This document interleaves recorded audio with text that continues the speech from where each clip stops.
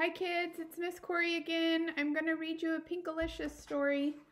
Today is Pinkalicious and the Pink Drink. It was a sunny day, too hot to play. I was blowing bubbles in the shade.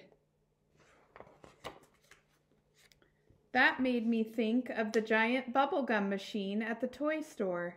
I ran inside to check my piggy bank. It was empty. I wanted a gumball. I wanted 20 gumballs. I wanted 35 gumballs, pink ones. But how could I get the money to buy them?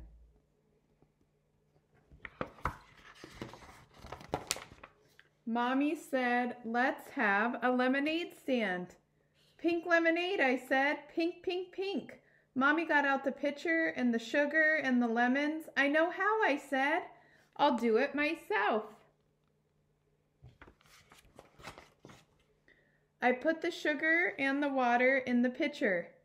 I squeezed the lemons. I stirred it all together. It was yummy, but it wasn't pink. I opened the fridge. I didn't find any pink lemons, but I found some other pinkish things. Pink grapefruit, pink watermelon, pink frosting, and a bowl full of purplicious beets. I put all of them in the pitcher and stirred it up. My little brother, brother Peter helped me put up my pink lemonade stand. I let him try the lemonade for free. Weird, said Peter. Kind of chewy. I like it. Mr. Peabody came by and gave me a quarter. My first real customer. Mr. Peabody made a face. It's definitely missing something, he said.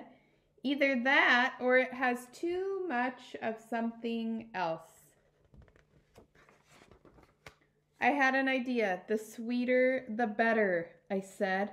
I ran and got the honey bear and squeezed the honey in. Peter stirred and oh no, he knocked over the pitcher.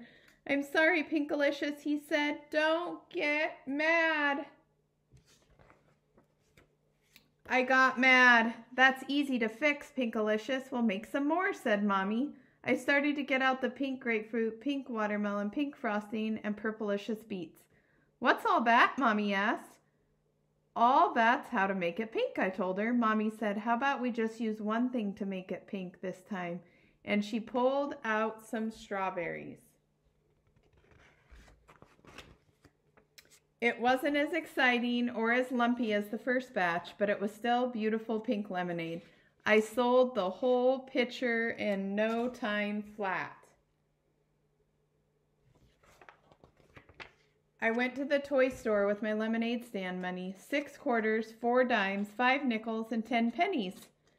Nine gumballs, pink ones, eight for me and one for Peter. Peter looked sad. I gave him three and kept six. Peter still looked sad. I stuffed one gumball in my mouth, kept four, and gave four to Peter. Even Stephen, Peter said. He was very happy. Gumballs don't last forever, and my piggy bank is empty again. Maybe tomorrow I'll have a bake sale. I can make pink cupcakes. Hope you kids liked it.